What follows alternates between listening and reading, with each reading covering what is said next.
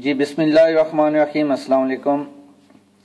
पिछली मैंने एक वीडियो बनाई थी, जिसके अंदर मैंने मुस्लिम लीग नून के सोशल मीडिया टीम को एक चैलेंज दिया था कि आप लोग आके मेरे साथ डिबेट कर लें। और साथ मैंने ये भी लिखा था कि मुझे यकीन है ये लोग नहीं आएँगे। और ऐसा ही हुआ, कमेंट्स के अंदर किसी जगह पे गालियाँ दी गई, किसी जगह पे मज़ाक, एक ताकि इमरान खान की फ़ोटोशॉप पिक्चर्स दी गई।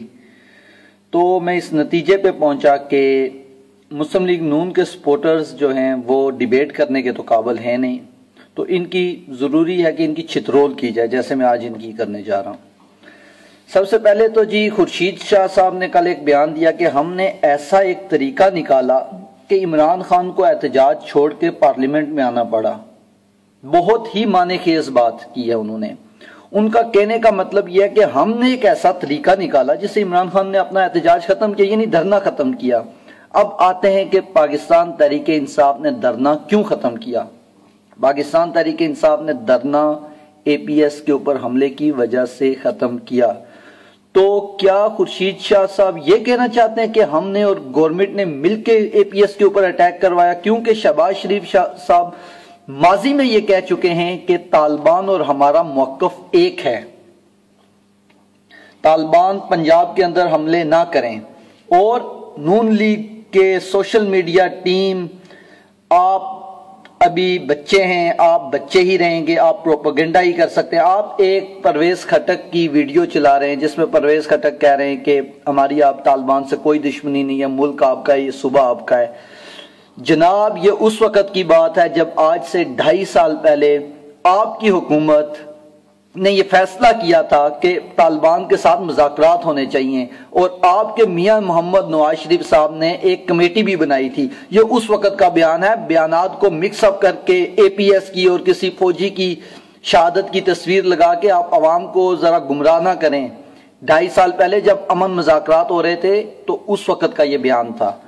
और जब मुजाकरात होते हैं तो फिर ऐसी ही बात करनी पड़ती है। किसी को यह नहीं कहा जाता कि चलो हमारे मुल्क से दफ़ा हो जाओ और फिर हमसे मुजाकरात करो, ऐसे नहीं होते। आपके तो मियाँ साहब ये कह चुके हैं कि पंजाब के अंदर आप धमाके ना करें, आपका और हमारा मौकफ एक है।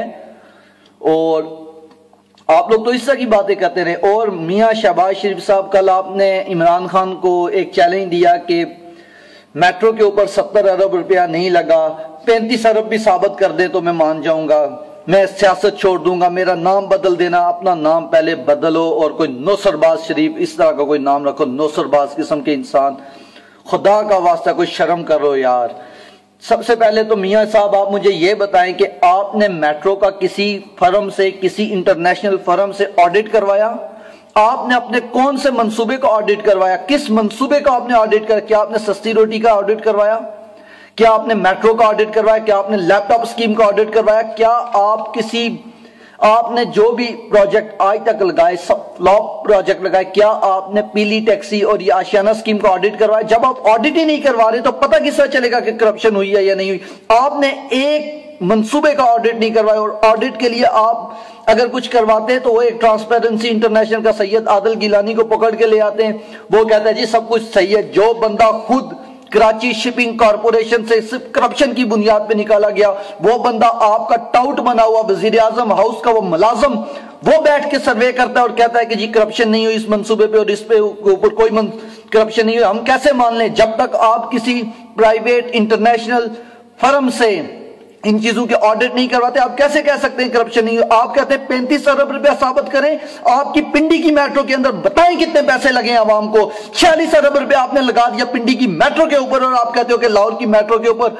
छियालीस पचास, पैंतीस अरब रुपया लगा, आपको शर्म आनी चाहिए मियाँ साहब। खुदा का वास्ता कोई शर्म करो, आपका एक आपकी एक टांग कबर में और दूसरी केले के छिलके के ऊपर है और आप आवाम से झूठ पे झूठ पे झूठ बोले जा रहे हो। आपको मियाँ साहब शर्म आनी चाहिए इस तरह की बातें करते हुए।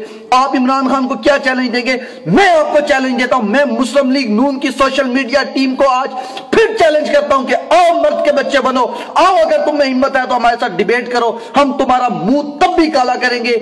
और आज फिर से मियाँ शहबाज शरीफ साहब आपको मैं ये कह रहा हूँ कि ये ड्रामेबाजी बंद कर दीजिए कि मेरा नाम चेंज कर दें। आपका नाम पहले ही चेंज हो चुका है। आप एक नौसरबाज किस्म के इंसान हैं जिसका काम आवाम से सिर्फ़ और सिर्फ़ झूठ बोलना है। इसलिए चैलेंज करने बंद कीजिए और आवाम की सहूलतों के ऊपर तवज्जो दें।